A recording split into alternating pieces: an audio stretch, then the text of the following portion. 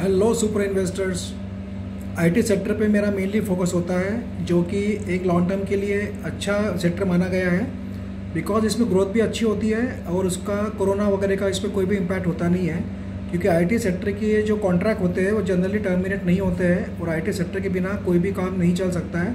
And important बात होता है कि आईटी सेक्टर ऑनलाइन भी काम चलता है, भले लॉकडाउन हो तो भी। तो ऐसे हिसाब से आईटी सेक्टर के कुछ शेयर्स हमारे पोर्टफोलियो में ऐड होना ही चाहिए।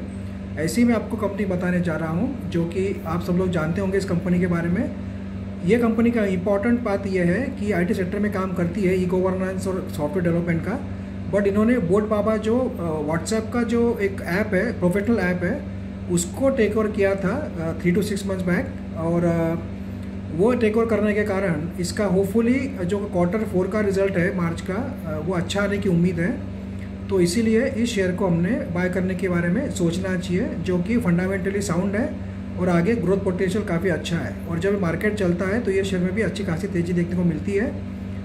कंपनी का फ्राइडे का क्लोजिंग था thirty six rupees and fifty two दिखाया था फिफ्टी थ्री रुपीज़ और इसका पी है ओनली एट का तो अभी भी रिजनेबल पी पे एक शेयर मिल रहा है। ई e है इसका फोर का, जो कि काफ़ी स्ट्रॉन्ग ई है looking at the rate of only thirty six rupees debt to equity ratio is zero point twenty तो वो भी एक पॉजिटिव है कि डेट भी कंपनी पे काफ़ी कम है। Promoter holding is thirty six percent जो कि अच्छा है, और प्रोमोटर ने अपना होल्डिंग पिछले चार क्वार्टर में बढ़ाया है ट्वेंटी एट परसेंट से थर्टी सिक्स परसेंट किया है। एफ़ आई का होल्डिंग है zero point zero five percent and D I का होल्डिंग है zero point zero one percent तो इस कंपनी में एफ़ आई डी आई का भी थोड़ा बहुत होल्डिंग है। एक पेनी स्टॉक ही कह सकते हैं आई टी सेक्टर का। और अगर मार्केट की गिरावट के हिसाब से हम लोग देखें तो मार्केट जब गिरा था तो ये शेयर थर्टी फोर रुपीज़ के नीचे जाने को तैयार नहीं था, थर्टी फोर, थर्टी टू के नीचे गया नहीं था।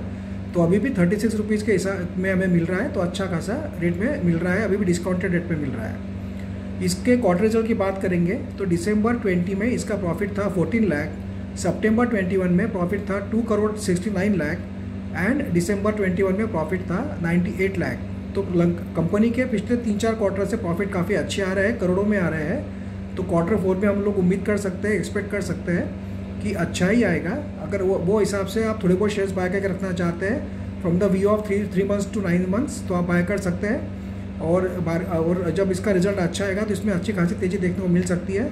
बट जनरली वन करोड़ से टू करोड़ के बीच में भी रिज़ल्ट आया तो अच्छा ही माना जाएगा इसका रिज़ल्ट तो वो हिसाब से भी आप थोड़े बहुत शेयर्स बाय कर सकते हैं। कंपनी का नाम है California software limited.